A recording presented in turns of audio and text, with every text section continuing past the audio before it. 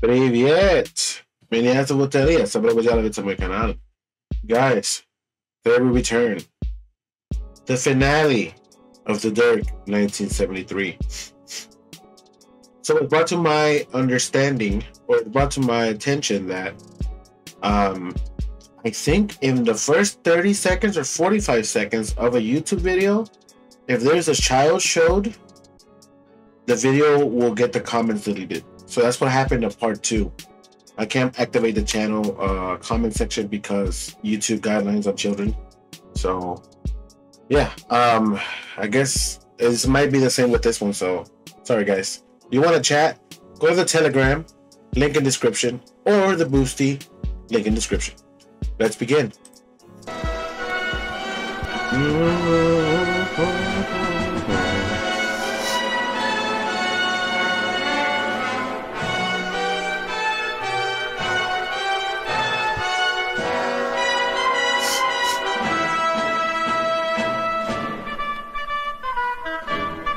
I wonder what he's gonna do. He has both the cipher and the key.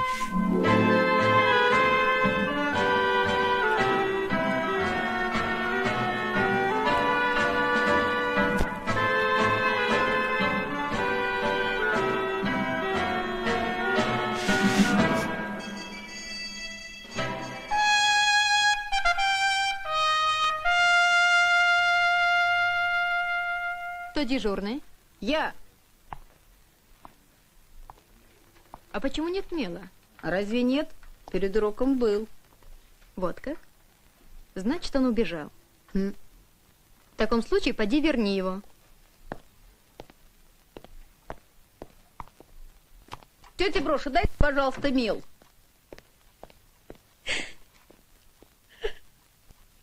Что с вами, тетя Броша? Кто вас обидел? Лет прослужила. Слова худого не слышала. А теперь дурой старой назвали. Кто? Кто вас назвал? Спасибо и на том. Бог с ним. При чем тут Бог? Никто не имеет права оскорблять. Кто вас обругал? Юра обругал. Опоздал он. Ну, я ему и говорю. Мне не велено пускать. Иди к директору, говорю. Он мне старый дура говорит. Итак, Китов, что ты должен доказать? Равенство углов. Я должен доказать равенство углов в набедренном треугольнике. Доказывай. Для доказательства равенства углов в равнобедренном треугольнике надо, Надо квадрат гипотенузы. На доску смотри. Надо квадрат гипотенузы помножить на сумму квадратов катетов. Прекрасно. You not hear the girl saying uh, the answers? Also, it may sound strange. I think I'm getting sick.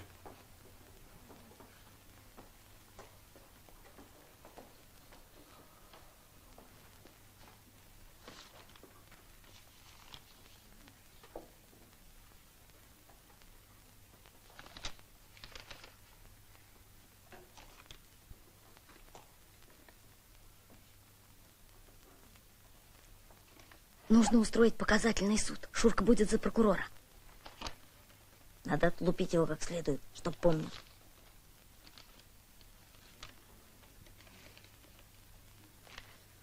Поляков?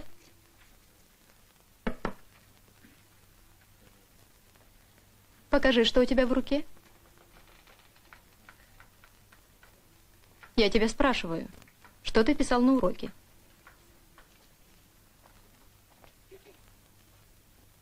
Оставь класс.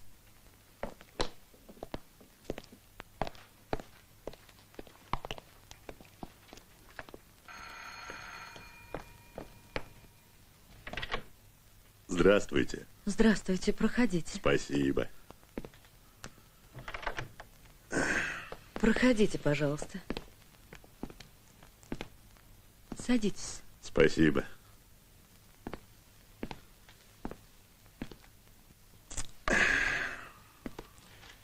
Дело меня такое к вам, понимаете, неприятное привело. Да, я вас слушаю. Беда с ребятишками, сами знаете.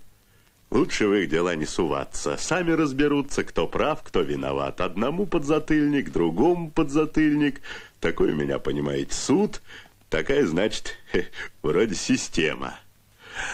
Но уж когда до воровства доходит, тут знаете...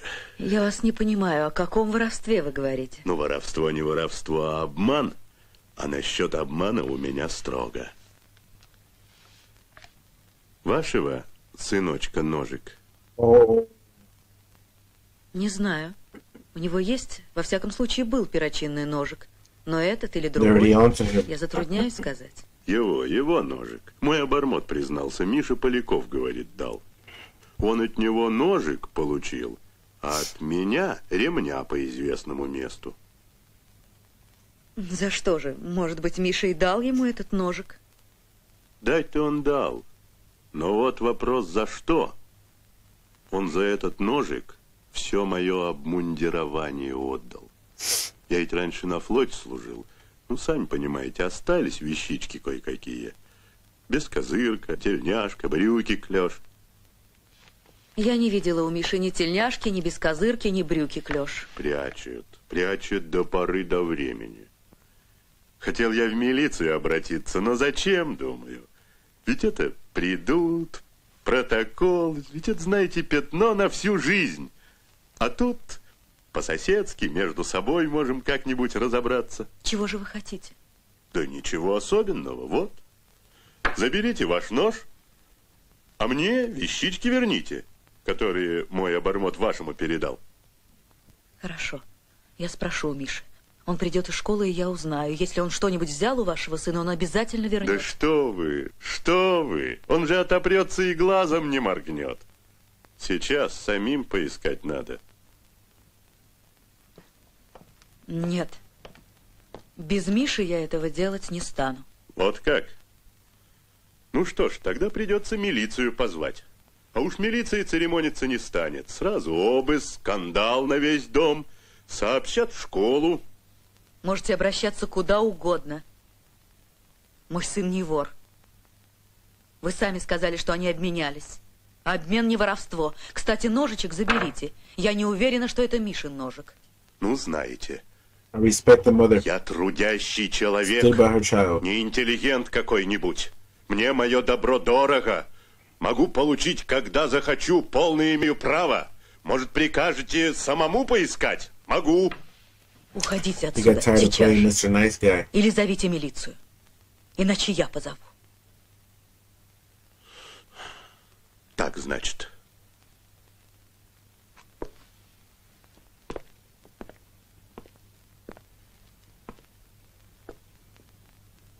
Зря. Люблю заниматься у Барфеда. Не придира, не зануда. На уроках делай, что хочешь. Хороший парень от Барфед. Побольше бы таких Барфедов. Преподавателя рисования зовут не Барфет, а Борис Федотович. Повтори. Борис Федотович. Борис Федотович Романенко. Повтори. Борис Федотович Романенко. Вот так, и ты запомни это. Бяшка несчастная, не мог раньше меня предупредить.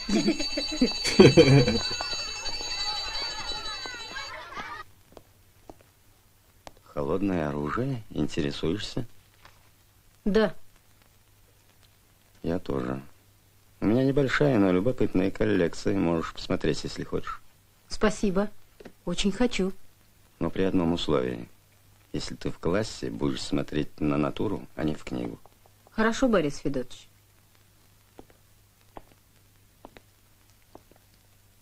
Кит. А Кит, Чего? ты из какого океана?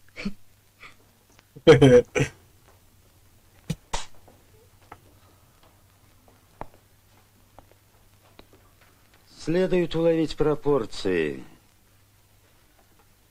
Вам, китов, нужно больше интересоваться живописью, развивать художественный вкус, а вы ничем не интересуетесь.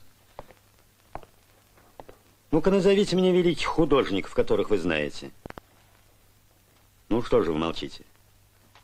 Ведь вы были с классом в Третьяковской галерее. Вспомните. Репин. Репин. Правильно, Репин. А какие картины Репина вы помните? Иван Грозный убивает своего. Иван Грозный убивает своего сына. А еще какие картины, каких художников вы помните? Романенко нарисовал лошадь. Романенко нарисовал лошадь. Что? Что вы сказали? Что он нарисовал лошадь. Кто он? Ну как это его? Романенко.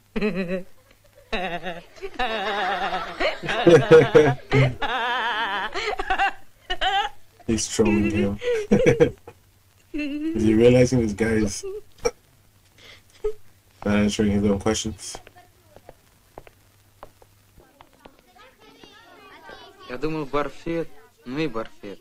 Думал, думал. Я просто так сказал. А ты как попугай повторяешь. Привык на подсказках выезжать. Не выдавай. Попался, так выкручивайся. Oh man, you're too dependent on cheating.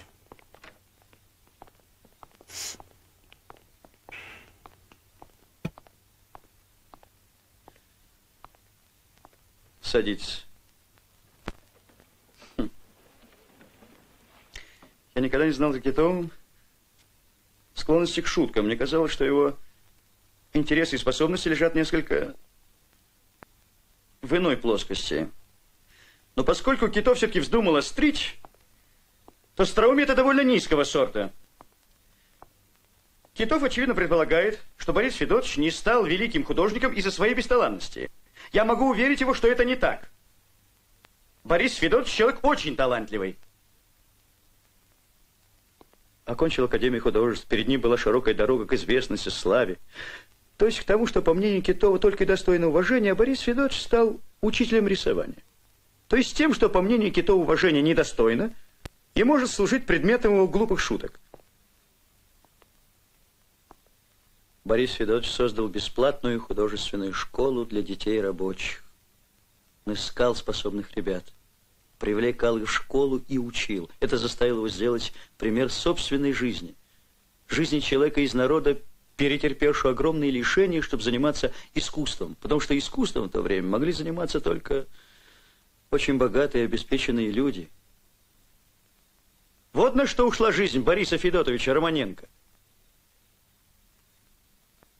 Да, нужно было изменить весь строй, создать общество, обеспечивающее каждому человеку развитие его способностей. Это и сделала революция. И все же, оценивая жизнь Бориса Федотовича Романенко, мы говорим, что такой жизнью можно гордиться.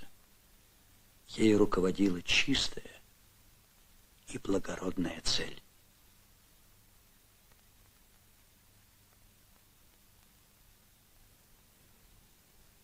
Рассказываю вам это вот зачем. Великий художник, великий ученый, великий писатель. Это звучит гордо.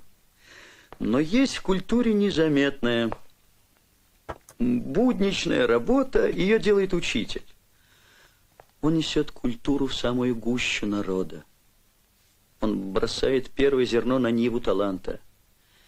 И вот если кто-нибудь из вас станет знаменитым человеком, Пусть он, увидев скромного учителя, с почтением снимет перед ним шляпу, помня, что именно он, учитель, воспитывает и формирует самое лучшее, самое прекрасное творение природы — человека. Вот о чем хотел с вами поговорить. Ну, а теперь прошу продолжать урок.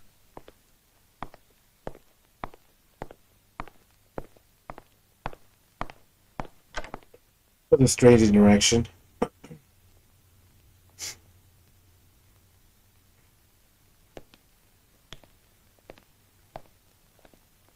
Борис Федотович, извините меня. Это я подсказал Китову. Значит, и киты попадаются на удочку.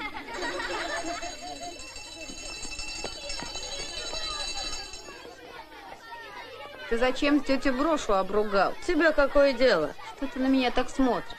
Ты не смотри, а то быстро схлопочешь. Ишь ты какую привычку взял оскорблять технический персонал. Это тебе не дома на прислугу орать. Тебе придется извиниться перед тетей Брошей. Я буду извиняться перед уборщицей. Уж этого вы не дождетесь. Чего ты с ним так разговариваешь? Вот так надо.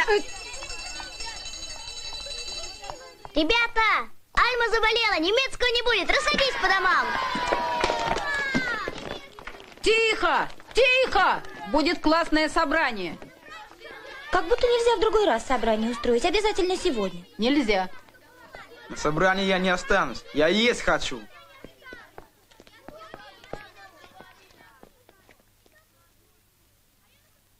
Come on, man. The tall guy can Обсуждаем вопрос о Юре. Let's Слово имеет. Геннадий Петров. Юра опозорил наш класс, он назвал тетю Брошу старой дурой. Это безобразие. Теперь не царский режим. Небось, Алексей Иванович он так не назовет, побоится. А тетя Броша простая уборщица. Вообще, пора прекратить эти барские замашки. Юра скаут, а скауты заодно с буржуями. Предлагаю исключить Юру из школы. Юра индивидуалист. Он отделяется от коллектива. Он написал в своей анкете, что хочет быть похожим на Печорина. Но Печорин эгоист. Губит Беллу, обманывает Мэри, высокомерно относится к Максиму Максимовичу. Печорин прямо говорит, какое мне дело до бедствий и радостей человеческих. И если мы все будем подражать Печорину и думать только о себе, то все люди передерутся. Юра должен извиниться перед тетей Брошей, а исключать его из школы – слишком суровое наказание. You can't argue with Я не понимаю, за что пионеры нападают на Юру. Генка в тысячу раз больше хулиганит, чем он. А еще пионер. Я считаю, что прежде всего нужно выслушать Юру. А я в скаутах больше не состою. Если Генка не знает, пусть не говорит. Я принципиально не согласен с тем, что закрывает вешалку. Это ограничивает нашу свободу. А извиняться я не буду. Не намерен унижаться перед каждой уборщицей. Вы можете постановлять все, что вам угодно. Мне это глубоко безразлично. Товарищи, инцидент с тетей Брошей надо рассматривать гораздо глубже. Что мы имеем? Мы имеем два факта. Первый – оскорбление женщины, что совершенно недопустимо. А второй факт – употребление слова «дура». Такие слова, товарищи, засоряют наш язык, наш великий, могучий, прекрасный язык, как сказал Некрасов. Не Некрасов, а Тургенев. Вообще-то они вместе сказали, но Некрасов все же немного раньше. Я предлагаю, товарищи, запретить употребление слова «дура» и тому подобных слов. Давайте по существу. Говори, Зина. Ребята, это же ужас. Я сама видела, как тетя Броша плачет. И нечего Юрку защищать. А если он нравится Лёле Подволоцкой, пусть она так прямо и скажет. Потом Шурка. Он пишет девочкам на уроках записки. Я тебе не писал. Поэтому она и злится, что не писал. Ты мне не писал, зато Лёле Подволоцкой писал. Потом Генка. Он всегда меня на уроках расхохатывает. Юра обругал тетю Брошу, потому что считает, что он выше ее. Я предлагаю, чтобы Юра извинился перед тетей Брошей. Если он не согласится, то поставить этот вопрос в учком. Пусть решает вся школа. Кто за это предложение? He should just apologize, bro.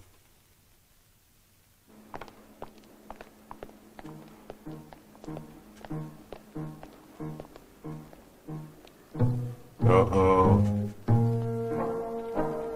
They're now aware.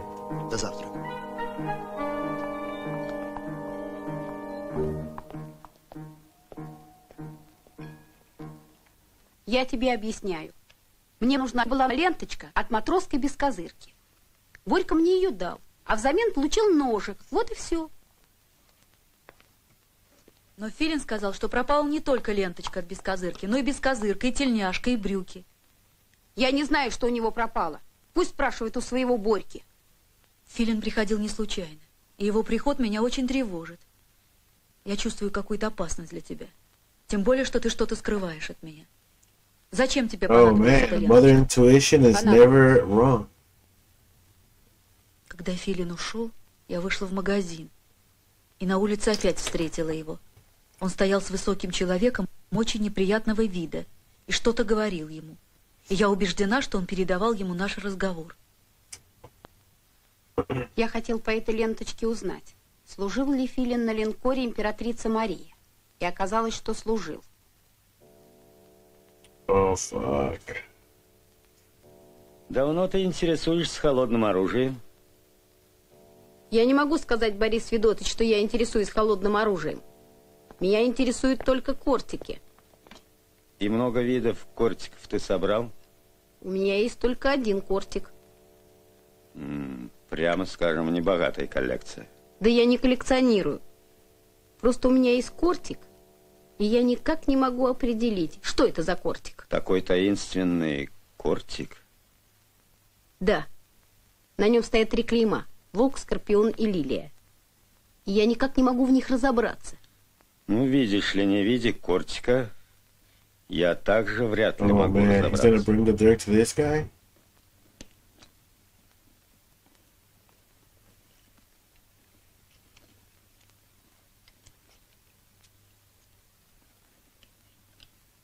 Мгм. Волк. Это клеймо залингенских мастеров Германии. Такие клинки назывались волчата. Очень знаменитая марка оружия. Скорпион – клеймо итальянских мастеров из города Милана.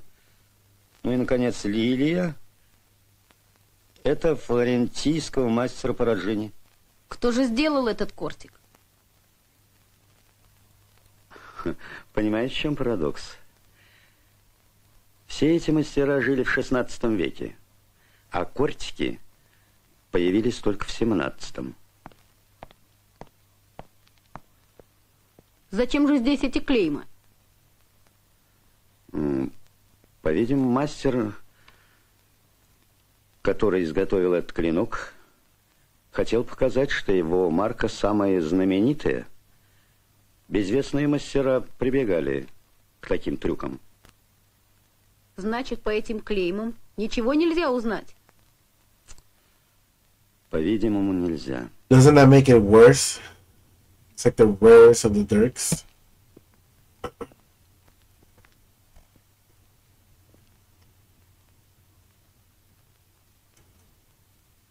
Но я что-нибудь придумаю.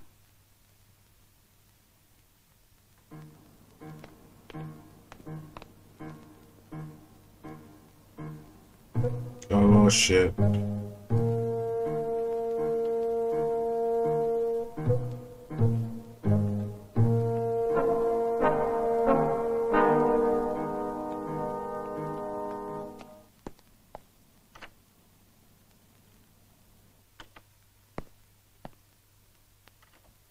Вернулся? Да, я еще посижу у вас. Я могу определенно сказать, что этот кортик изготовлен в России русским мастером.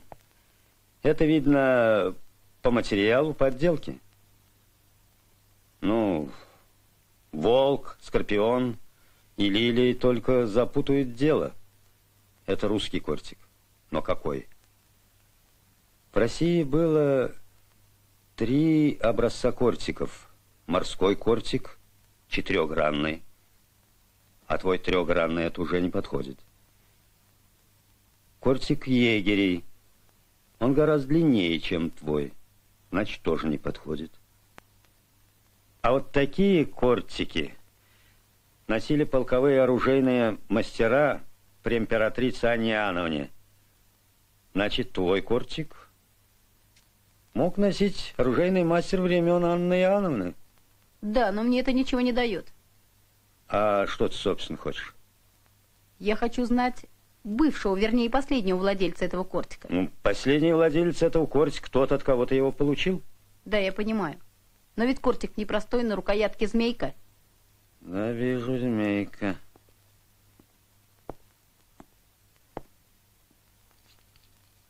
Что вы делаете? Не беспокойся.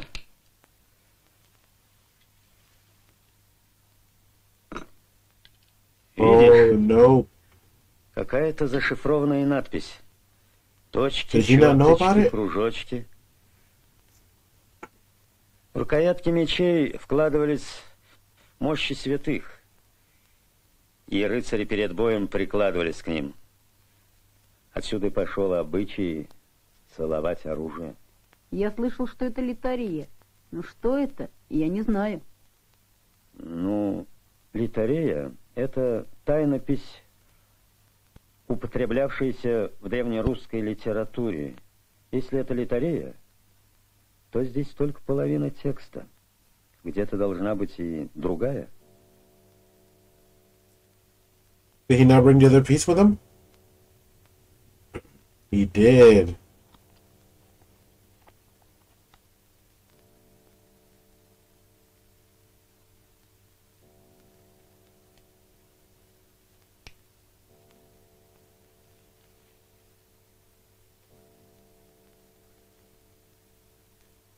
Вот и получилась десятизначная литорея. Так, пиши. Oh, he's gonna decipher it for the boy? С. И. М. Что получилось? Сим. Так, прекрасно. Дальше. Г. А. Д. О.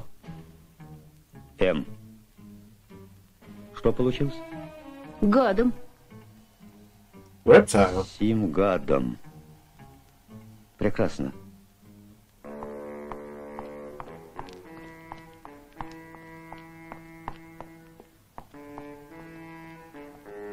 Вы не видели мальчика в коричневой куртке с красным галстуком? Oh my god.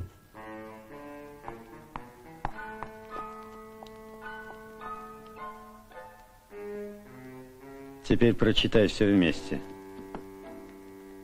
Сим гадом завести часы. Понеже проследует стрелка. Полудень в башне самой повернутой быть. Hmm? Странный What the hell does that mean?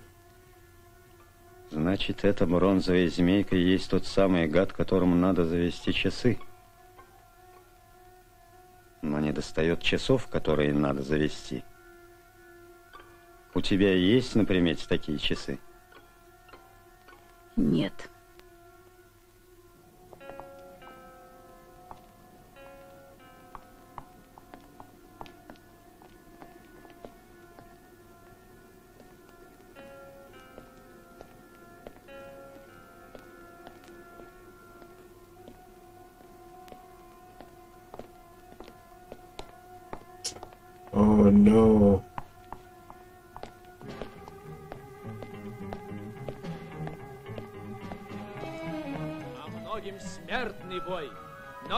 Смерть, то и тогда никто нас, товарищи, не победит. Это был он, тот высокий. Какой высокий. Я каждый раз хожу за тобой, сегодня опоздала и наткнулась прямо на него. Близок день, вырастай и Не волнуйся. красный, миру новому на день. Разворачивайтесь At least the mother knows. Празднует Hey, someone following you, man. Тише, товарищи старшие. Твое слово, пионер. Беспризорных детей, братья смрадного хлева, накормить и одеть. Эй, левой, левой, левой. Левой, левой, левой. И так решили. В школу и обратно ходить только втроем. Один никто из нас не имеет права выходить за пределы двора. Я вас оставлю на часок, скажу в магазин. Только обо мне не беспокойтесь. Я на казенной квартире, на казенных харчах. Ничего, ничего.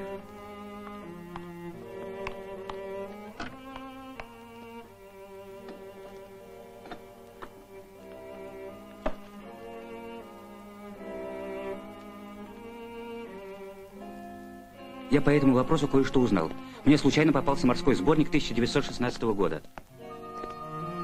Здесь перечислены те, кто погиб при взрыве на линкоре императрица Мария. И какая штука вышла? При взрыве погибло очень много офицеров, я тебе про них рассказывал. Но по имени Владимир только трое. Иванов, мичман, Терентьев, капитан третьего ранга, Неустроев, лейтенант. Но кого из них убил Никитский и кому принадлежал Кортик? Вот некрологи. Послушай, интересная штука. Трагическая смерть унесла В.В. Терентьева, выдающегося инженера российского флота. Его незаурядные способности и глубокие познания, приобретенные под руководством незабвенного П.Н. Подволоцкого, давали ему основания стать для вооружения русского флота тем, чем был для вооружения сухопутных войск его знаменитый предок П.И. Терентьев. Вооружение сухопутных войск. Может быть, это и есть тот самый оружейный мастер? А я о чем? Тут написано, что предок его был знаменитый. Значит, о нем должно быть написано в энциклопедии. Нет, в военном справочнике. Пойдемте в Румянцевку, Румянцевскую библиотеку. Ну что ж, можно пойти. Но сначала дождемся мать. И сделаем так. Первым выйдешь ты. Я следом за тобой. Между прочим, здесь у вас написано, что у этого офицера учителем был Подволоцкий. А у нас в классе девочка учится. Лёля be so Может быть, они родственники. investigation. Все может быть. Да, вот еще что. Кортик я оставлю у себя. Не беспокойся. Придет время, верну. Я ж тебе его подарил. Значит, он твой. Ну, а пока что собирайся.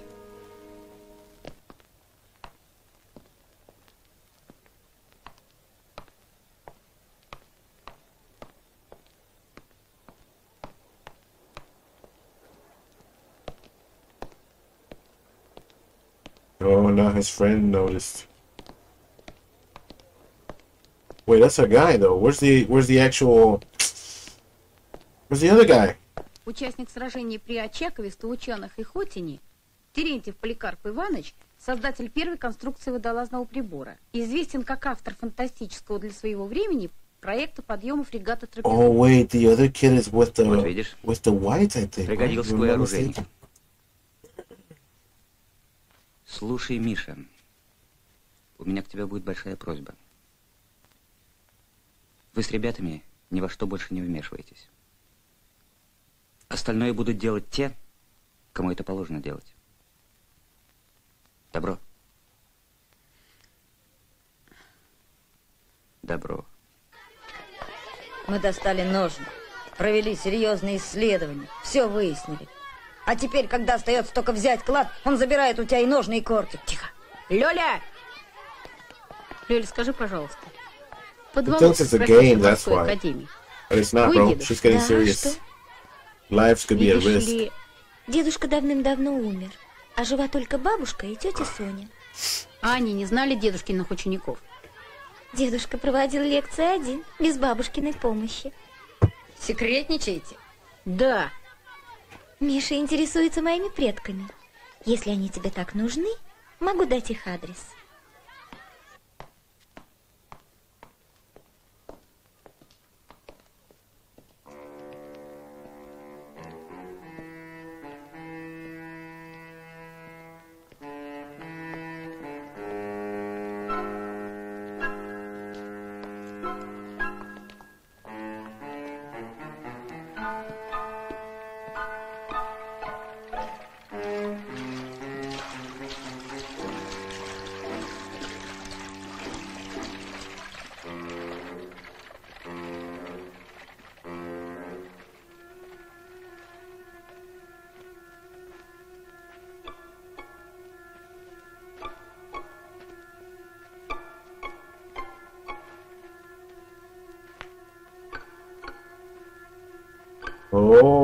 You thought you were sneaky, but you are messing with an expert.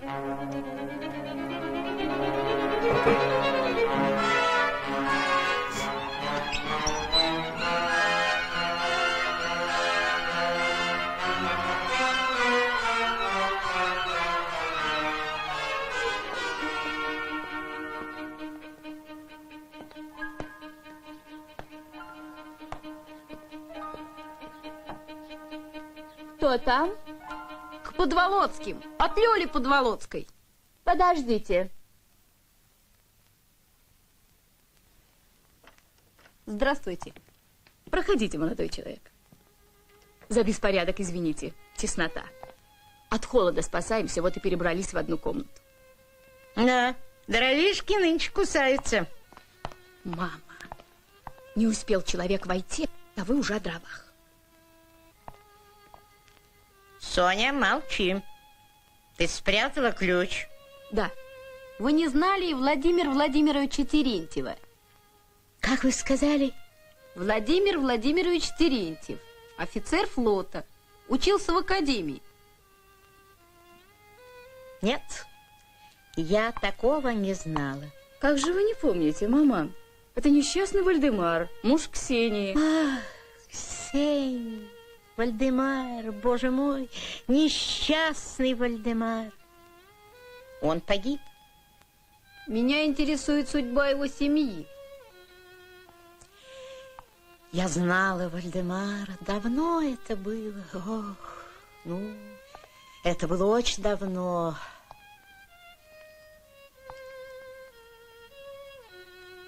Но очень давно это было.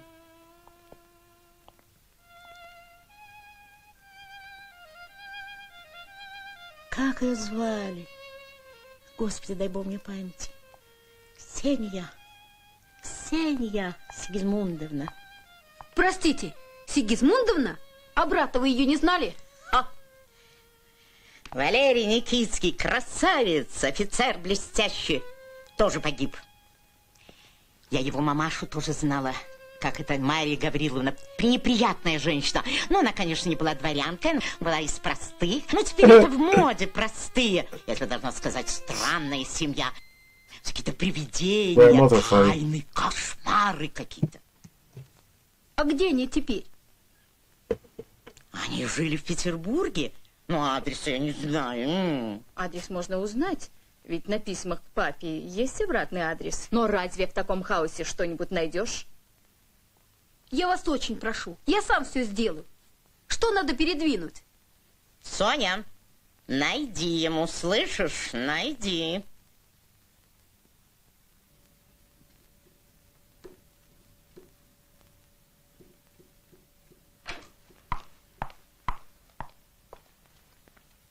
Слава, я уезжаю на концерт. Если папа задержится, ужинай без него. Даша тебе приготовит. Хорошо, хорошо, мам. Миша, голубчик, это правда, что вы уезжаете в какой-то там лагерь? В какое-то Карагаево? Да. Вероятно, поедем. Слава, не смей купаться. Тебе врачи запретили. Мам, в лагерь-то мы поедем летом, а не сейчас. Только такой легкомысленный человек, как твой отец, мог согласиться на такое безумие. Отпустить ребенка одного на все лето, неизвестно куда, неизвестно зачем. Жить в каких-то палатках.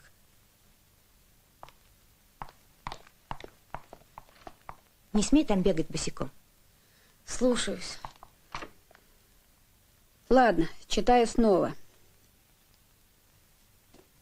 Его превосходительству Петру Николаевичу Подволоцкому.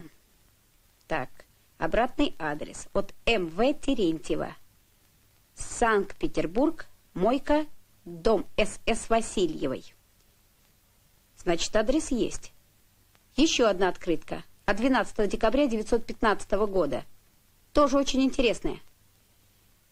Читаю.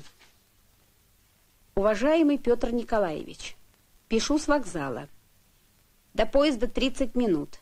И я лишен возможности засвидетельствовать вам свое почтение лично. Задержался в Пушкино, а к месту назначения должен явиться не позднее 15 сего месяца. Какова бы ни была моя судьба, остаюсь искренне преданный вам Владимир Терентьев. А может, Мойка это вовсе не улица? Мойка? Это речка. Как же интересно, что они в речке проживали. Хорошо, я пишу. Ну, теперь клад от нас никуда не уйдет. В те времена все боялись Берона и прятали от него сокровища.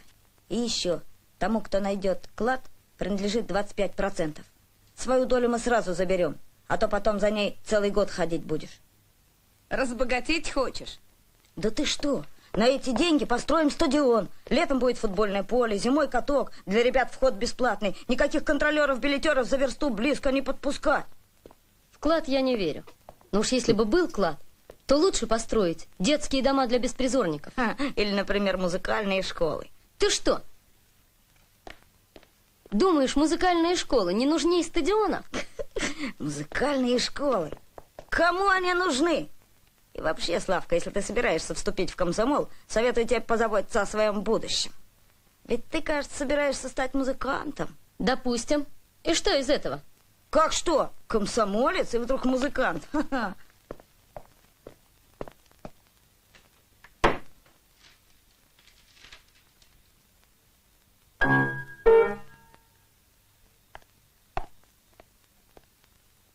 Что это за Паганини такой?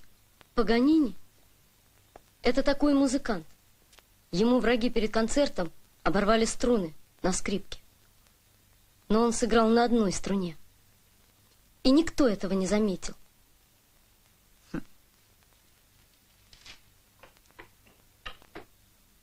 Подумаешь, у моего отца на паровозе ездил кочегар Панфилов.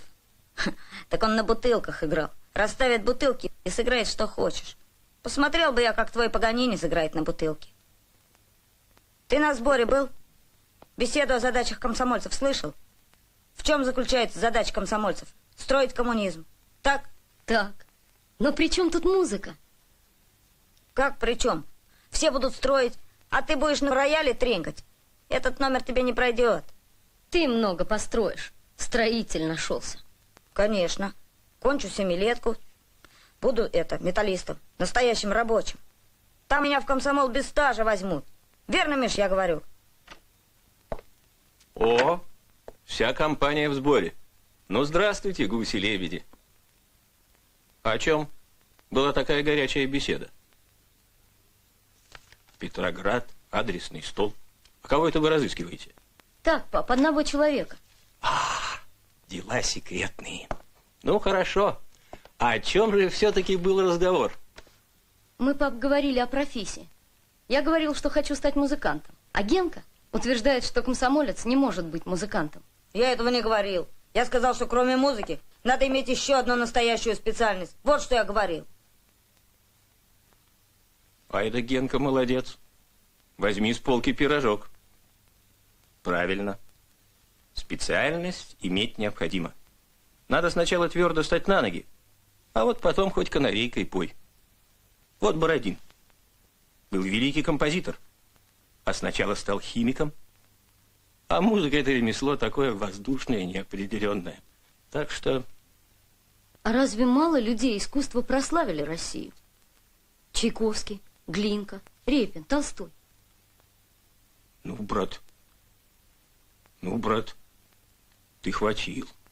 Это же гиганты, титаны. Это же не каждому дано. А я согласен со Славой. Он будет музыкантом. А на его месте пусть учится кто-нибудь другой. Ну, не сговорится нам. Когда мне было 14 лет, мать все говорила, жалела меня. Как ты будешь пробиваться в жизни? Пробиваться? Слово-то какое? А ты говоришь, пусть на его месте учится кто-нибудь другой. А он этого другого и в глаза не видел. Ему важно, чтобы государство получило еще одного инженера. А разве это плохо? Почему плохо? Я говорю, что вы думаете иначе, чем мы думали в вашем возрасте. Да, Генка, разбили они нас. Почему нас? Вас, а не нас. Вот тина. Ты же только что был согласен с моей точкой зрения. Когда это было?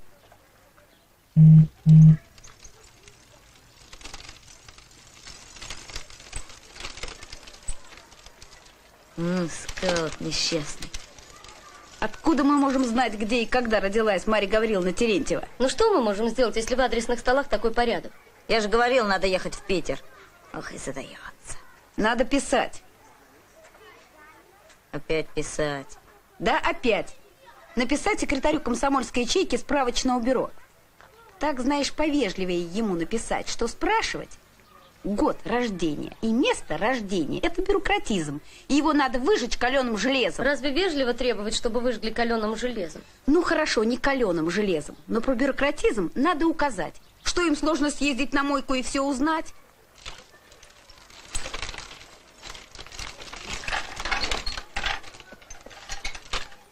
Нужно смотреть, куда едешь. Вот ты и смотри, для тебя одного дорога, что ли? На такой ломантине можешь ползать дома или во дворе. Ползать? А ну, Белый, покажи этому пижону. Да брось ты, Генка. Испугались? Вы на словах все храбрые, а на деле... Я испугался, да? Давай два круга. Молодец, Белый. Становитесь оба. Брось, Генка. Отстань. Брось! Раз, два, Genka, you're too small, brother. You're gonna lose.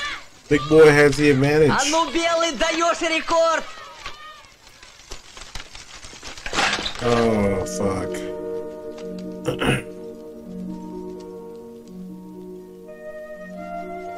Уйди. Все кончено. А, прости, прощай, подружка дорогая. Если бы у тебя был такой велосипед. Не утешай, я стойкий. В субботу приглашаю на день рождения. Я уже выбываю из детского возраста. So funny, he's a side character, but acts like the main character. oh, he's gonna rob that guy. Oh, he took his girl?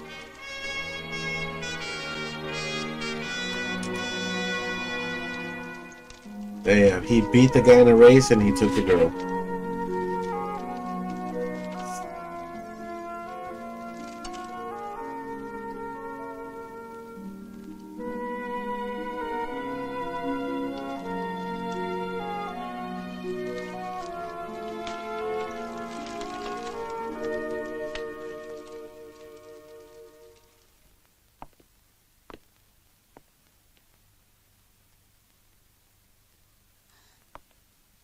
Генка, вот это да.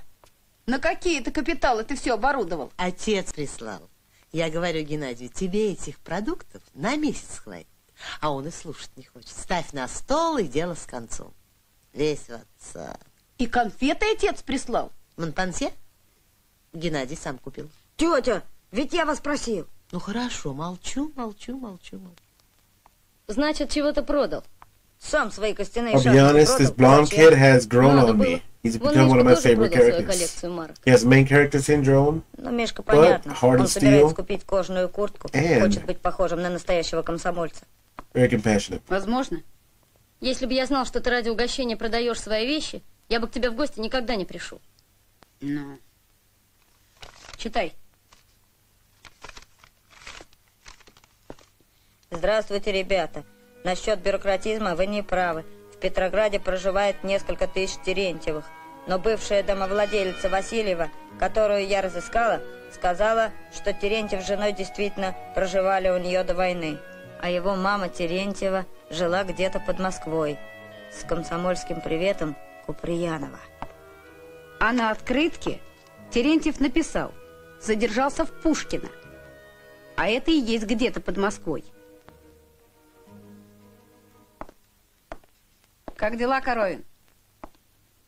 Движутся помаленьку. Сдал на четвертый разряд. Oh. Буду получать рублей 90 This is the poor guy that was a thief. He's finally doing something with his life.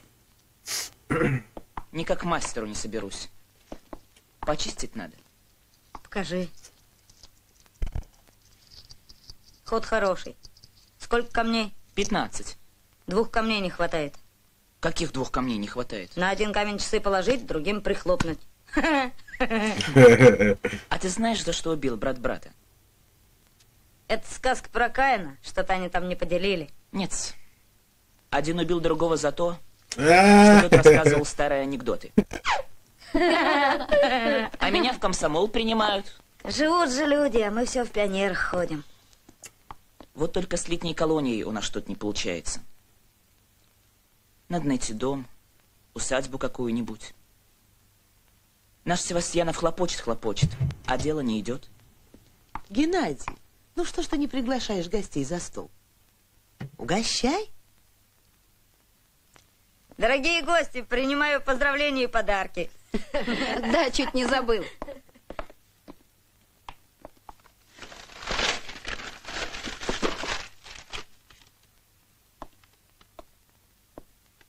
А где второе? Второго не достал. Ну ничего, поездишь пока на одном, а там видно будет. Как так на одном? Вот так, на одном. Прошу к столу. Подожди, у меня тоже есть подарок. Разыграли. Значит, коллекция марок, кожаная куртка, шахматы. Графы сбежали, а Николай Севастьянов хочет здесь приручить всю беспризорную орду во главе с Коровиным. Могли не He wants to тащить сюда tame столько them. верст. Тебе что, плохо? Я не говорю, что плохо. Я только объясняю, что Николай мог сказать, что мы не просто делаем однодневную вылазку, а ищем усадьбу для труд колонии. Ребята, Да. Ребята, Николай зовет всех. These are guys from episode two.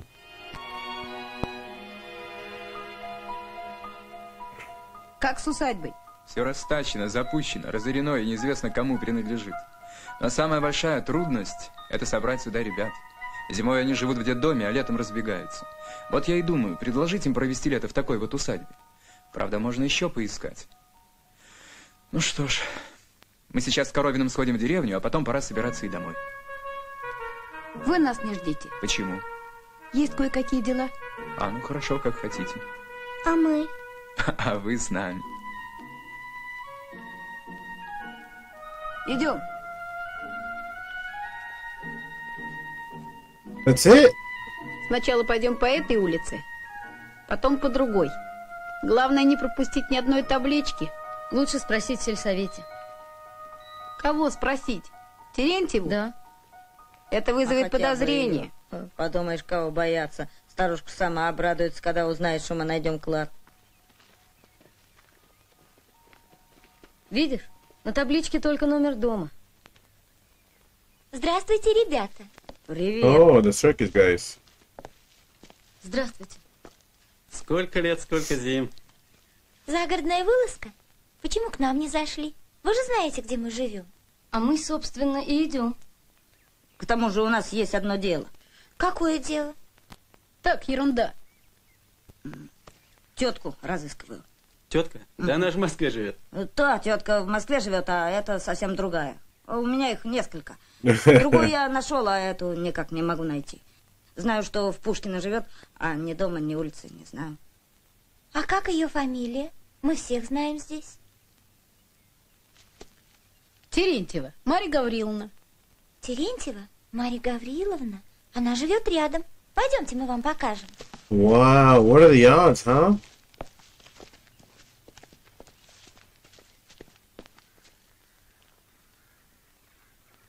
Это длинная история. Ведь она думает, что Генка умер, а он, оказывается, жив. Ее надо сначала подготовить. А то, если бухнуть ей так, то у нее от радости может случиться разрыв сердца. Здоровье у нее хрупкое. Мы с ней почти не знакомы.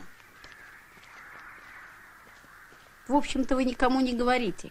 И отцу своему, ладно? Папа умер. Извините. Я не знал, как же вы теперь?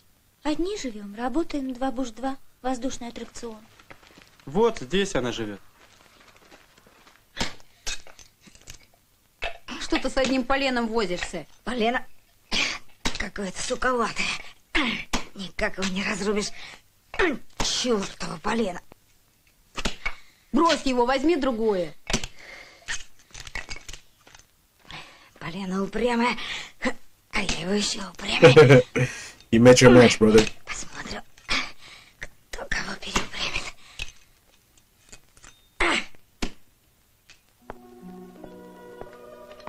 Приезжаем сюда в свободные дни, когда не выступаем. Так надо переехать в Москву? Жаль бросать этот дом. Здесь жили папа и мама. Мы здесь будем всю неделю. Приезжайте к нам в гости.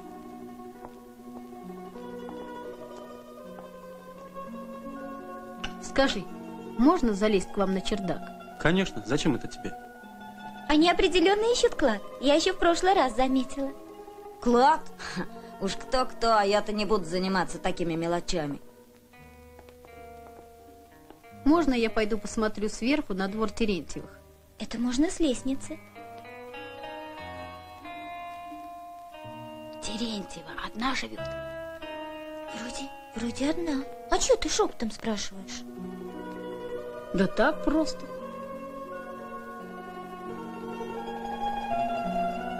Эй, вы! Я думал, что вы замерзли. they were having a moment, friend.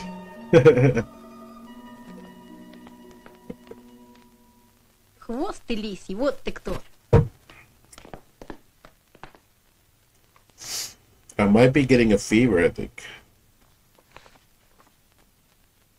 Марья Гавриловна, наш учитель по рисованию страстный коллекционер холодного оружия. Ему случайно попался кортик работы Поликарпа Терентьева, но никаких данных о нем он не мог собрать. Он обращался и в Петроград, и в библиотеки, но все было бесполезно.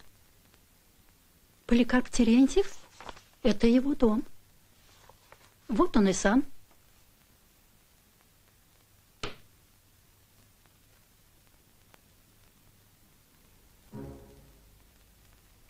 Wait a minute.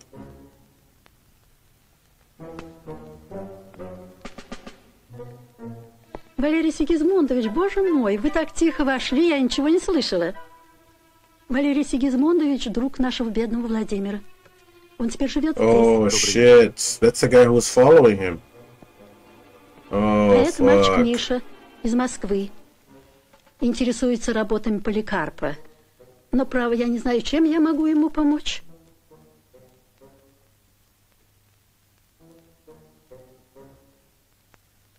Откуда такая страсть к холодному оружию в столь раннем возрасте, молодой человек? Из Ревска.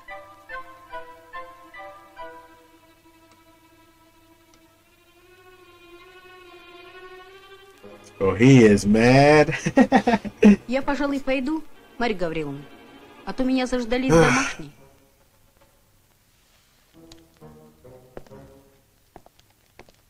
Я провожу молодого человека, Марья Гавриловна, на улице темно. Это было Oh, благородно с вашей no. стороны, Валерий Сигизмундович.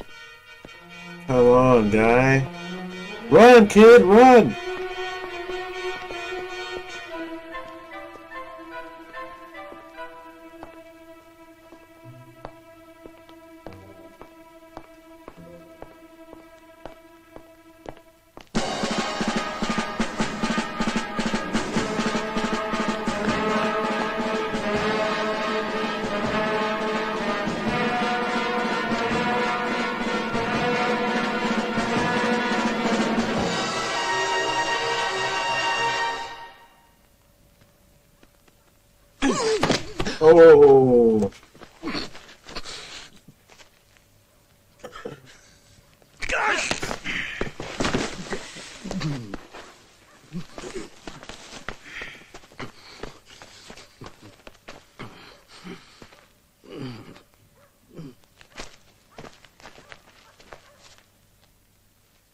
It worked out.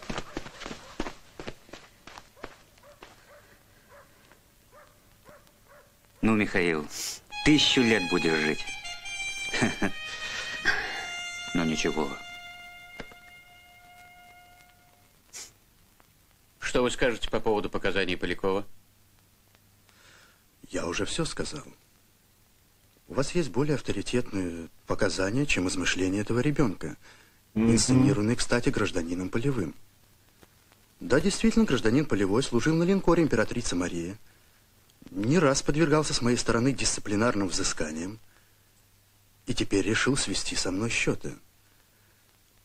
Помощников для этого, кроме этих детей, у него не нашлось, да и не могло найтись.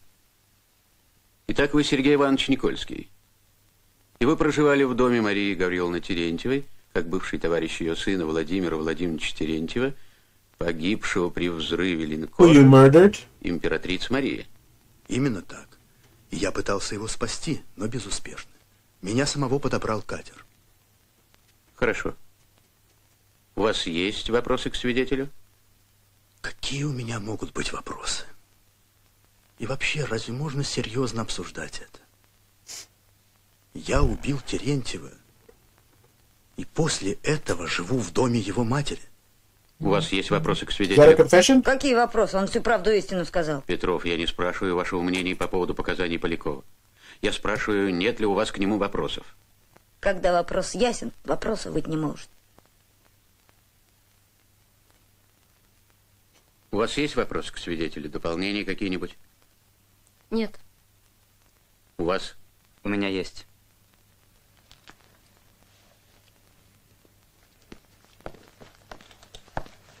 The Dirk.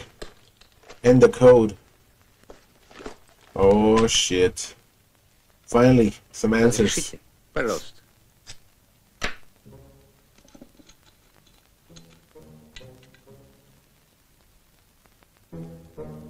He's fucked.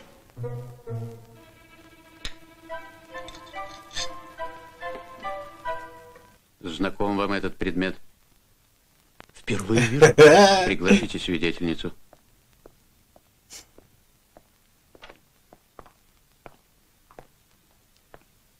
Здравствуйте. Oh, the mom of the guy he killed. Свидетельница Терентьева, назовите, пожалуйста, фамилию этого гражданина. Никольский. Где, когда и при каких обстоятельствах вы с ним познакомились? Во время войны он приезжал ко мне с письмами от моего сына Владимира. А где ваш сын? Он погиб при взрыве линкора императрица Мария. Вы убеждены, что именно при взрыве он погиб? Конечно, мне прислали официальное извещение. Вам прислали вещи? А разве их могли прислать? Линкор взорвался и потонул. Вы узнаете этот кортик? Да, это наш. Это его кортик, Владимир. That's the that's the Вас не удивляет, что все That's вещи it? вашего сына погибли, а кортик цел? Почему Yeah, now you realize what happened. Nikolsky killed your son. Фамилия гражданина? Никольский. Оглашаю показания свидетеля Полевого, служившего на линкоре императрица Мария. 7 октября 1916 года лейтенант Никитский выстрелом из пистолета убил капитана третьего ранга Терентьева Владимира Владимировича. Целью убийства было похищение кортика. Организация банды, грабеж, убийство. Против этих фактов вы не сможете возразить. Oh fuck. Has to accept his fate. Despicable guy, man. He lived with the mother of the guy he killed. Despicable behavior. He needs to go to jail in solitary confinement.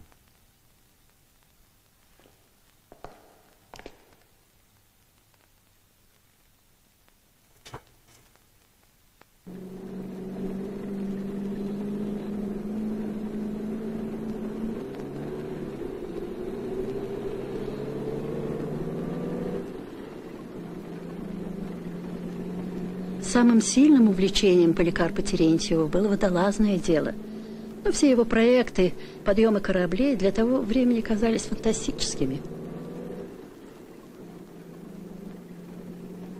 О тайнике знал только один человек в доме, глава семьи. Мы, женщины, этим не интересовались.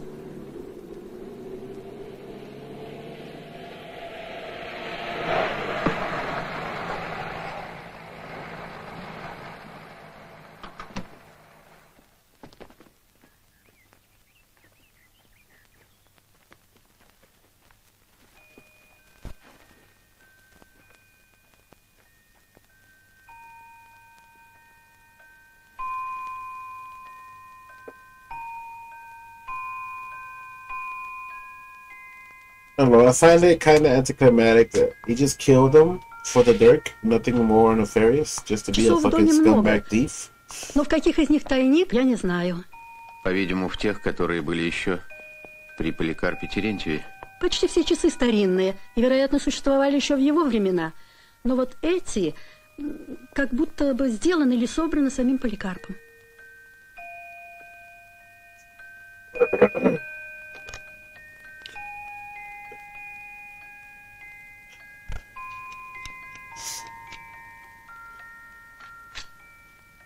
No way. It was for his clock?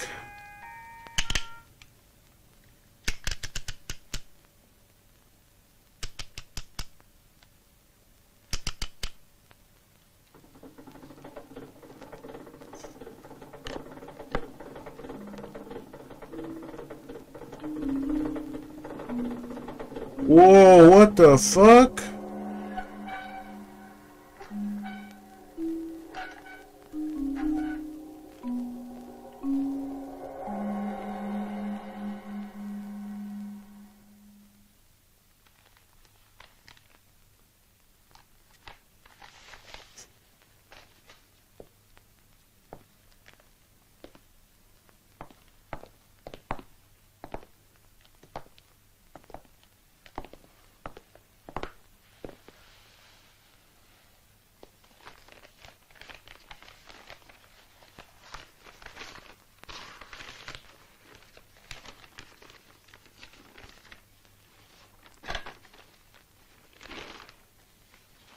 Все разложено по морям.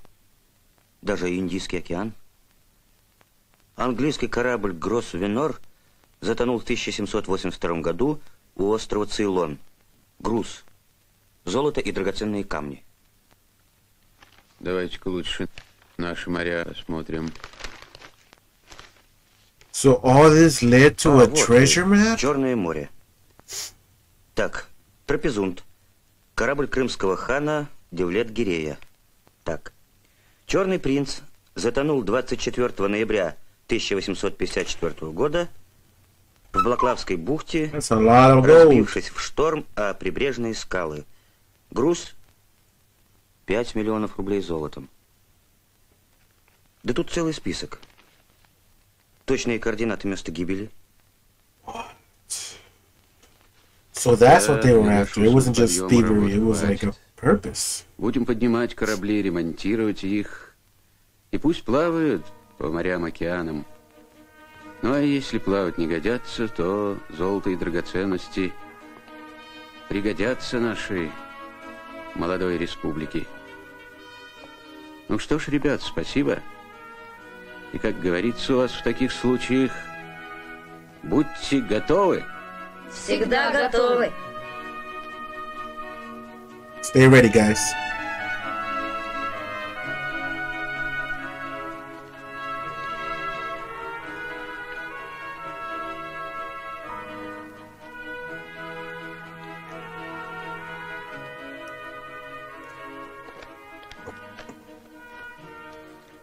He promised him the Dirk at the end.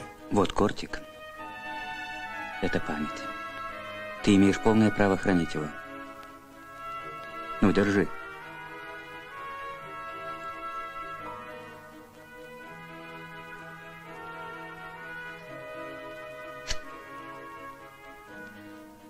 Вот так будет лучше.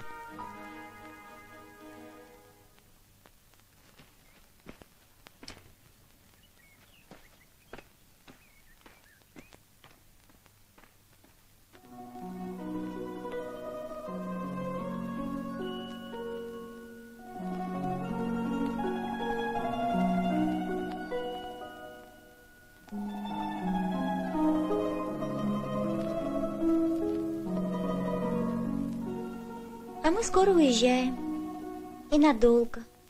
В России на гастроли. Эй-эй, О. я вас ищу, ищу.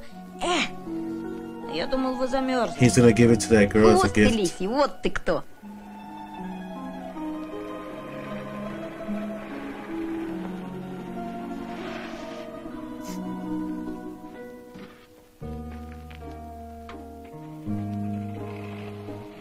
Oh, I was mistaken.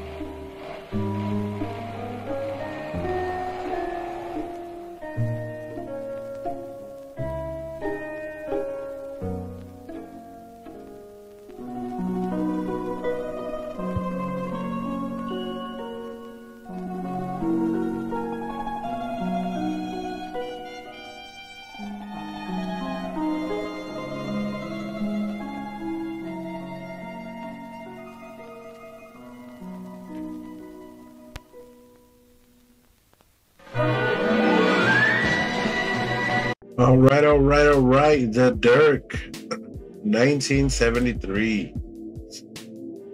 Make it so you don't see all my junk. All right. Um, for me, this is a 7.5 out of 5. I cannot believe the journey ended with them finding a treasure map. Some people in the comments have been saying, hey, there's a part two, the Bronze Empire, or something with the bronze. Um, yeah, I wasn't sure how this was gonna end. Um, I'm glad I got to see the character development of the boys, the blonde kid MVP of the whole series, and the main character. Good guy. Um, I heard about the tragic fate that he had at the age of 35. Rest in peace to the boy. But yeah, overall, not a bad show. I enjoyed my time. But yeah, guys, like, comment, and subscribe. Peace.